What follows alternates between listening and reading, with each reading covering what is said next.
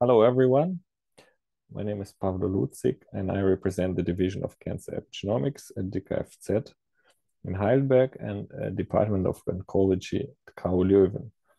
Uh, today, I want to speak about democratizing access to scientific workflows with WorkflUX.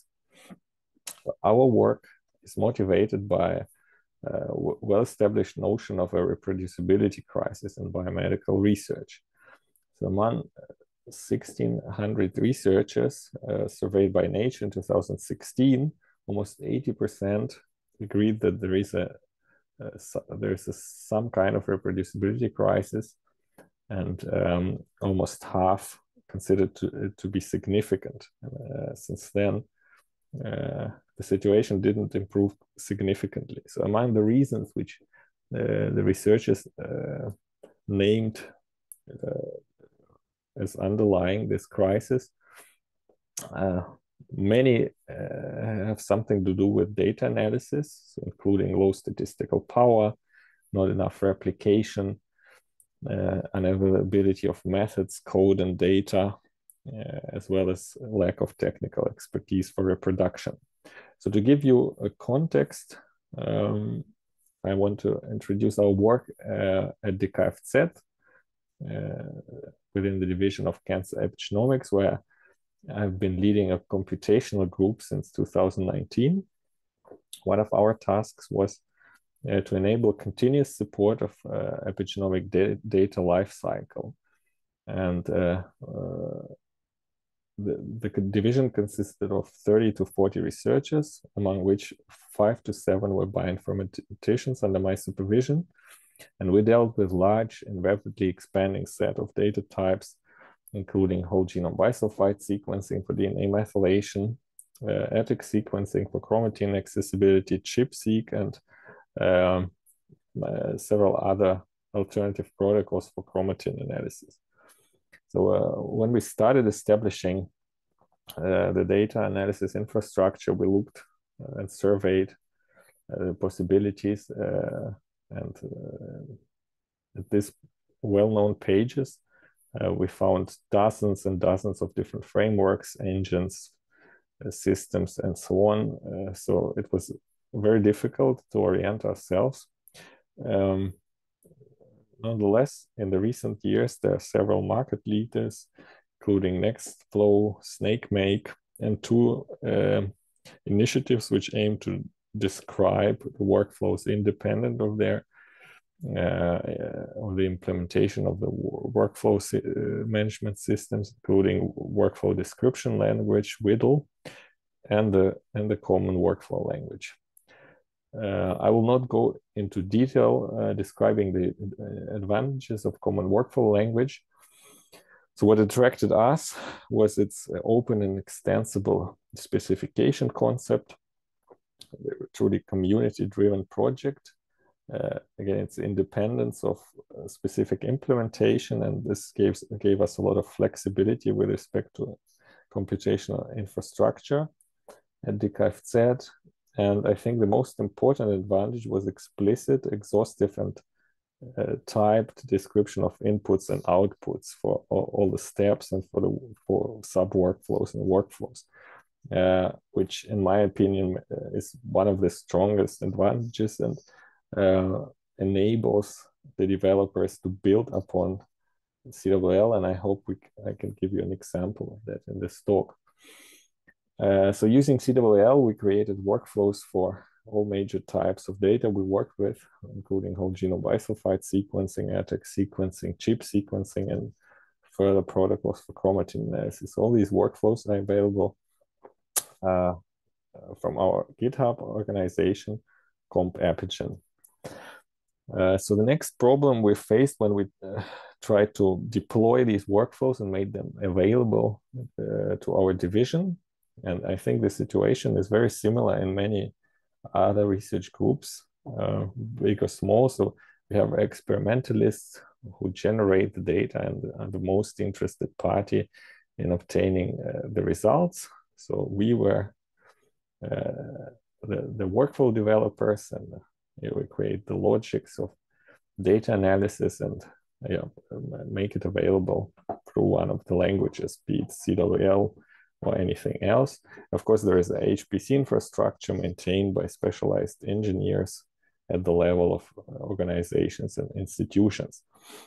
So what we noticed there there is a considerable uh, barrier uh, for the experimentalists to apply workflows simply because most of the uh, steps involve command line uh, interfaces. So like uh, deployment of, of the workflow management system, deployment of workflows and dependencies, configuration of the uh, jobs, execution in heterogeneous environments, even accessing results, especially large scale uh, analysis results, large files, uh, monitoring the analysis and reporting uh, results, everything we call provenance. Uh, in the workflow world, this often includes command line interfaces. Uh, and yeah, as we know, in biomedicine, the clinicians and bio, biological researchers, they are not always familiar with the command line, although the situation is improving rapidly. So uh, at that time, uh, there were already alternatives, including Galaxy project. So it was already quite popular back then uh, when we started working on on uh, on this software.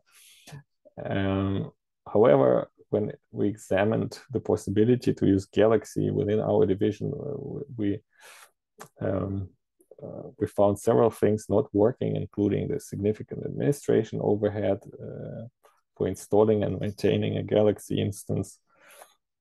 Uh, it's a concept uh, which makes it uh, suitable for large user bases, organizations, and communities. But uh, yeah, it's often an overkill for small groups and it's uh, Galaxy has a sort of Swiss knife philosophy.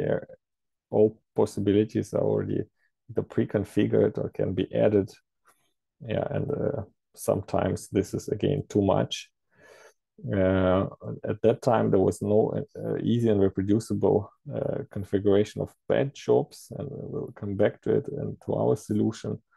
Uh, again main focus, of galaxy was uh, not workflows but single tools. And yeah the, concerning the workflows there was own workflow ecosystem and no support of popular workflow languages, although it, has now changed with the addition of CWL support very recently. Uh, so Kersten Breuer, who was a student in my group, uh, an enthusiast of workflows, uh, he designed and implemented a solution which we uh, initially called CWLab and later renamed to WorkflUX. So it's essentially graphical framework, which hides all the complexity of workflow deployment, uh, execution, uh, and monitoring, uh, and accessing the results under the hood, and makes it experience workflow experience uh, very comfortable for uh, the this. So this is the democratization uh, in essence, because now not only the computer geeks, let's say, can uh, can perform the complex analysis, but also everybody, uh, yeah, who can who knows the data and knows how to use WorkflUX. so this is how WorkflUX looks. so it's a very simplistic web interface yeah, uh, there's a, just a landing page and three tabs for different tasks, and I will go through each task of the task uh, in detail. Uh, so first, uh, a bit of an architectural outline and, and an overview of the features. So WorkflUX allows you to um, allows the users to import um, uh, common workflow language workflows from many sources, including public repositories, but also like locally from single files. Uh, so the, in the front end, they're imported and uh, the, in the same time the backend processes the workflow and based on the workflow structure solely creates uh, a parameter form, either HTML or Excel, uh, or open office spreadsheets or open document format. And uh, uh, for, for the spreadsheets, it creates templates. And this way, the user configures the jobs and uh, the backend generates uh, CWL job files in YAML or JSON and they are sent to the execution API. So we have a highly configurable, configurable execution API, which allows you to connect uh, to essentially any type of CWL uh, supporting uh, infrastructure, be it local execution with a reference implementation cwltool, or HPC cluster setup, for example, with Toil, or cloud-based setup with Cromwell, uh, you name it. And uh, yeah, everything is extremely lightweight, easy to set up and adapt to concrete needs of the users. Uh, so the first step is the import. So there are many options such as public URL, uh, including GitHub. So this is extremely convenient. You just copy a GitHub URL in raw format and you have the workflow imported, but also other uh, options exist, including tool and workflow repository services. Uh, next, for the job configuration, so all the input parameters are analyzed and uh, according to a type, either an HTML input uh, created or you get a properly configured template uh, for, for your spreadsheet. so through the spreadsheets, it's possible uh, to configure batch jobs, so runs for many samples. Uh, so the, the jobs are automatically validated. Um, the input files are automatically searched for on connected storage. Um, and all the built-in documentation from CWL doc tags is transferred to the tooltips in the uh, in the HTML form. So once the jobs are configured, you can execute them using uh, minimalistic running interface.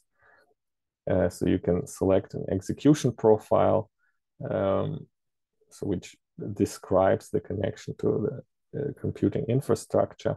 And you of course can select the load.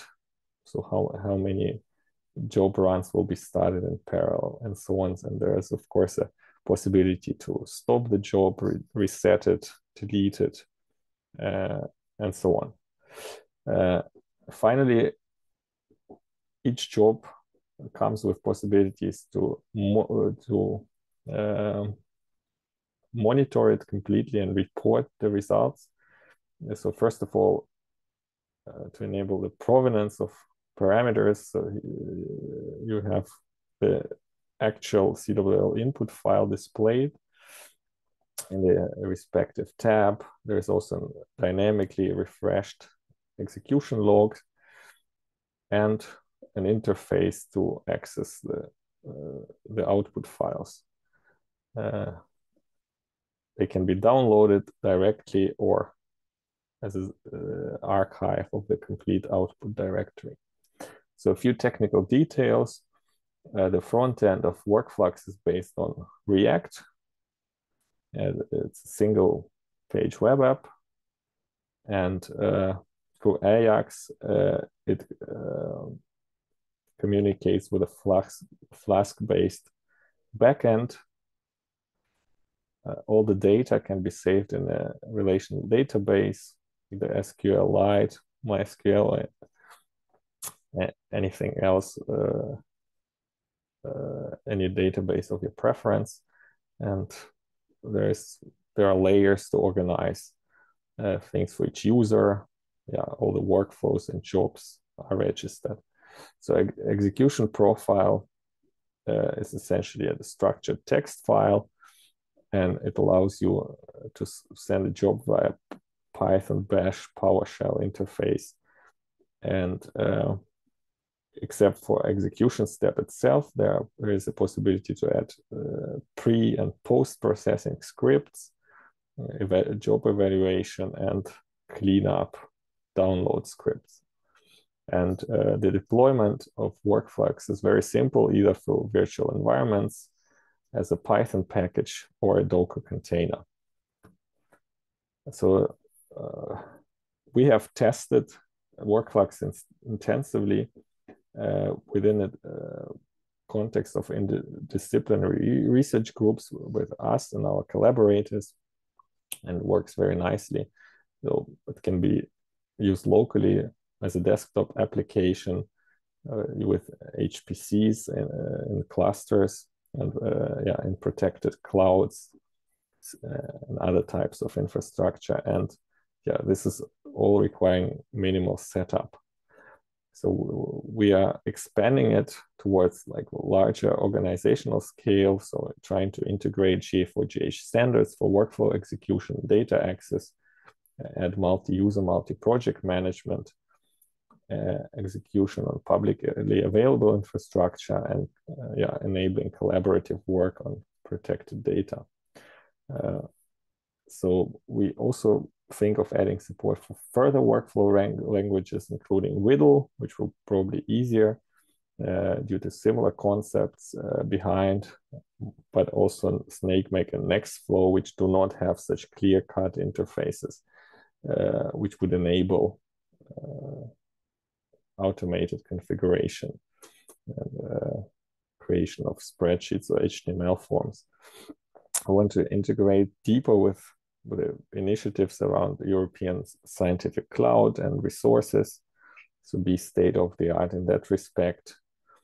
Um, we want to provide images for major commercial cloud providers, uh, such as Google, Microsoft, or Amazon clouds. And we want to link to large data resources, biomedical databases, object storage, and so on. So if you like this concept, try WorkflUX out. It's available freely under Apache 2.0 license from the WorkflUX organizations. And uh, we, of course, welcome feedback uh, and all contributions. Uh, thanks so much for your attention. I'm happy to answer your questions in the Q&A. Bye.